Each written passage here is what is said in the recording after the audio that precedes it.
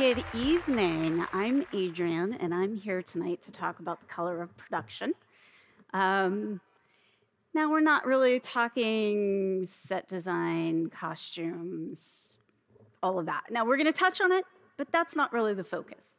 We're going to talk about the overall color and how that happens in production.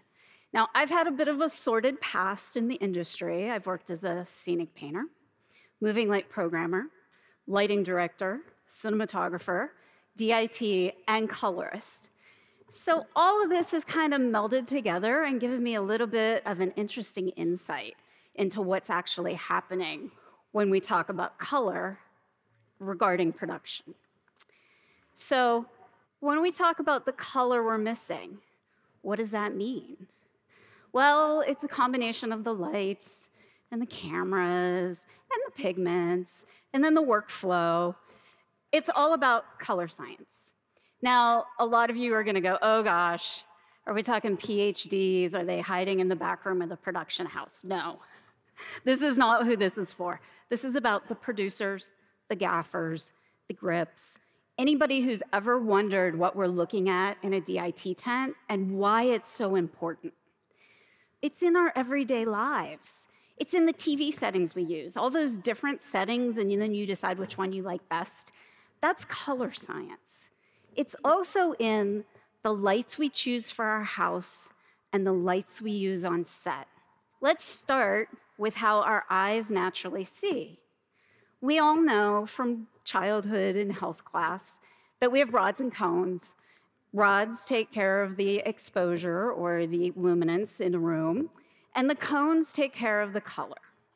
Just as an example of how our eyes work, we have two squares here. One's yellow, one's red.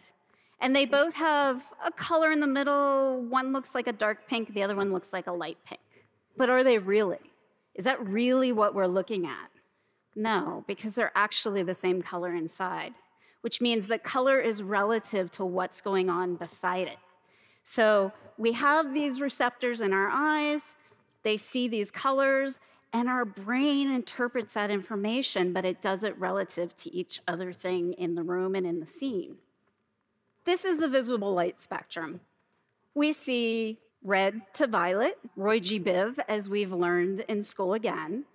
And this is the light spectrum at different times of day. So at noon, we have the full spectrum of light that we can see, from violet all the way through the reds. At sunset, though, we see this drop in blues and violets, and we shift to mostly reds.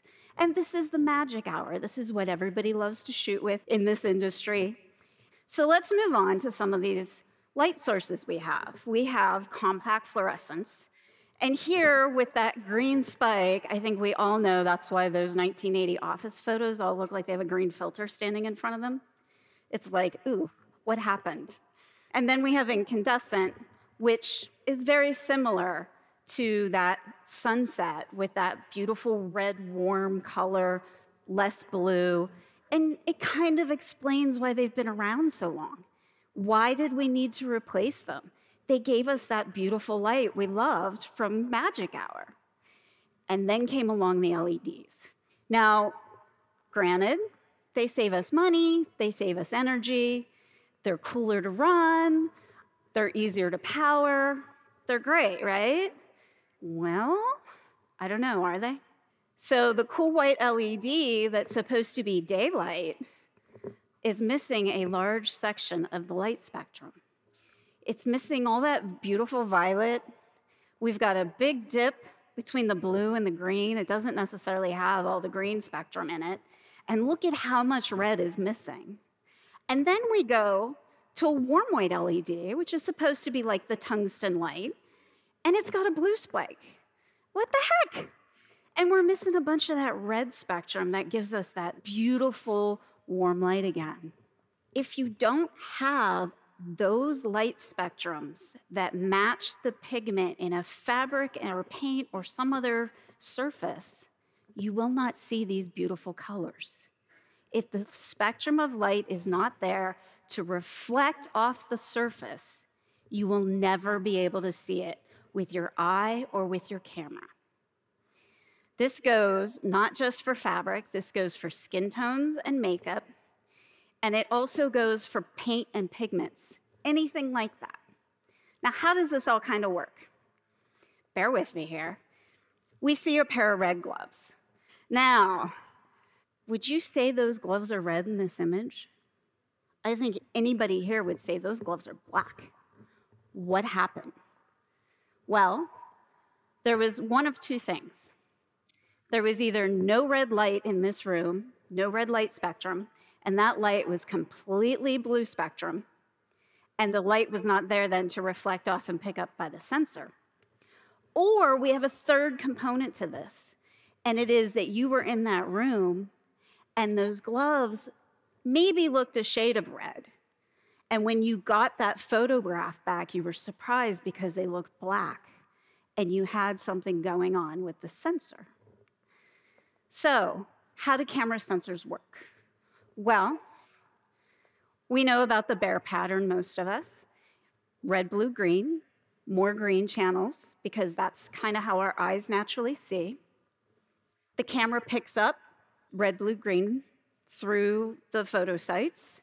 It sends it through a debayer process, which moves some of that around and sends it out finally as an image that we see on a monitor or a screen.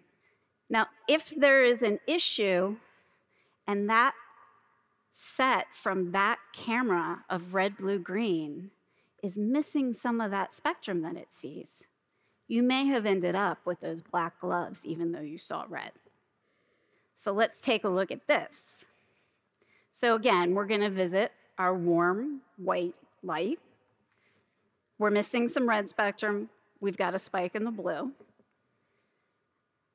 And this is what a camera sensor maybe looks like. Now, every camera sensor is slightly different in this. Some are more sensitive to blue than red.